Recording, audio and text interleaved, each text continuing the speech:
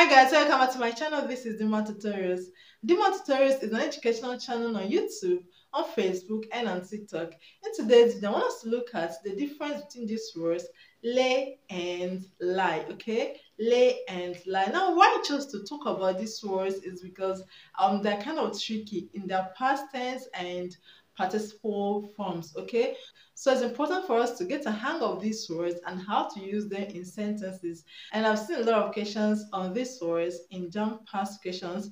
Um, we are going to answer one at the end of this video. In JAMB past questions, um, post any past questions. Okay, I've seen questions on this on the use of these words in pursuing past questions and also in WAEC past questions. So it's important for you to understand these words and how to use them in a sentence, okay? How to use them in their past forms and in their participle forms, okay? Now let's get started with the word lie, L-I-E, lie, okay? The word lie simply means to um, stay in a horizontal position, okay, supporting yourself on a surface, okay? The word lie simply means to stay in a horizontal position, okay? In a horizontal position, supporting yourself on a surface, okay? For example, to lie on the bed, okay, to lie down, okay. So that's the meaning of the word lie, which I believe you already know. Now, the word lay simply means to put something down gently, okay, to put something down gently and carefully. To put something down gently and carefully. For example, lay the baby on the bed. It means put down the baby gently and carefully on the bed, okay? To lay something means to put something down to put something down gently or carefully, okay? Now, the difference in these words is that lay, you have to perform an action on something, okay? You have to take something and put on something, okay? You have to know take something and put on something. Whereas lie simply means to place oneself on a surface okay? Horizontally on a surface okay? So that's the difference between these words now let's get to the tricky part. The tricky part is in their past forms okay? In their past forms. Now the past tense of lie is lay. Lay. Not because it has an overlap with the word lay that I already explained, okay? So lay is the past tense of lie. For example, I laid down on her bed last night, okay? I laid down on her bed last night. Now the past tense of lay is laid, okay? Laid. She laid the baby on the cot. She laid the baby on the cot. She laid the blankets on the floor. Now let's get to the participles, okay? Let's start with the past participles. Now the past participle of the word lie is lain. For example, I had lain on his bed before he arrived, okay? I had lain on his bed before he arrived. That's the past participle of the word lie. I had lain on the couch before he told me to get up, okay? So the past participle of the word lie is lain, okay? The past participle of the word lie is lain. Now, the past participle of the word lay is laid, okay? The past participle of the word lay is laid, okay? She had laid the baby on the cot before the mother arrived. She had laid the baby on the cot before the baby stopped crying, okay? So the past participle of the word lay is laid, okay? Now let's look at the present participle. Now the present participle of the word lie is lying lying l-y-i-n-g lying okay? Now the present participle of the word lie is lying okay? You've been lying on the bed all day. You've been lying on the bed all day okay? That's the present participle of the word lie.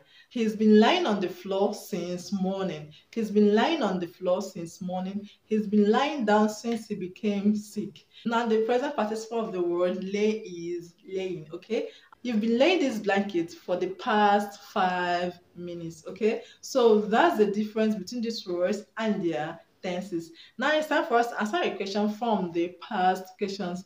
Now, before we go to answer your question from the past questions, okay, it's important for me to tell you guys, in case you didn't know, that um, I have a WhatsApp class and I'll be coaching a lot of students, of 150 students, okay, on WhatsApp. And we're going to be having a region class, which is going to start on the 12th of March, okay? So you have the opportunity of joining us in the revision class. In the revision class, we're to have a holistic revision of everything we've learned. We're to focus on the syllabus, okay, using the past questions to prepare very well for the exam, okay? So if you've not joined the class, you have an opportunity of joining us now, okay? The class is to start on the 12th of March. The fee is just 1,000 naira for a whole month. Okay, so rush now and join us in the class. Okay, you shouldn't miss this class. Make sure you join the WhatsApp class. The number is on the screen. Okay, the number is on the screen. Make sure you join the class. Send me a WhatsApp message using the number on the screen. Okay, so let's um, answer a question from JAMB past questions. Okay, so I already have it here. 2008. This question from 2008. When I came in, I dash A laid on the floor, B lie on the floor, C laying on the floor, and D um lay on the floor. Okay. When I came in, okay, when I came in was in the past. It happened in the past. Okay. When I came in suggests that the action happened in the past. Okay. I dash. Now we have option A laid. Laid is the past tense of the word lay. Okay. L A Y lay is the past tense of the word lay and is not the correct answer. It's the past tense and past participle of the word lay and is not the correct answer. Okay. Now you don't, you know, carry yourself um, and place on something. You simply lie. Okay. You don't lay. You lie, not lay. Okay. So it's not the correct answer. Option B, we have lie on the floor. Okay, lie is um, present simple tense, and this um, sentence is in the past tense. Okay, simple past tense. Okay, so option B is not correct. Option C, laying. Laying on the floor. Now, laying is the past participle of the word lie. Okay, the past participle of the word lie. Now, to use past participle, you have to use um had. Okay, I had lain on the floor um, before she arrived. Okay, so if you want to use lain, which is the past participle of the word lie, your sentence has to be in the um, perfect tense or the past perfect tense. So you have to use had. So you can say I had lain on the couch before um before any other thing happened, or I had lain on the floor when I came in. I had lain on the floor before um before my friend arrived okay? So two actions are supposed to happen in this sentence for you to use lain okay? So it's not the correct answer. Option d we have lay on the floor. What's the past tense of lie? The past tense of lie is lay. So lay on the floor is the correct answer. Option d is the correct answer okay?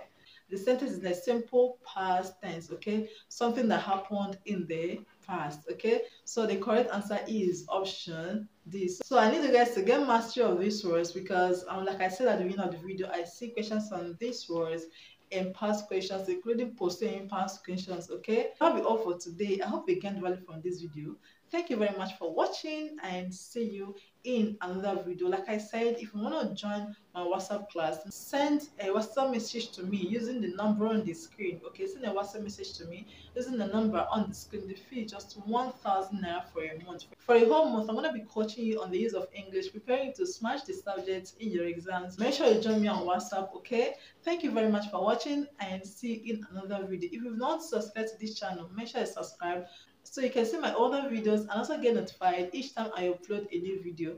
Thank you very much for watching and see you in another video.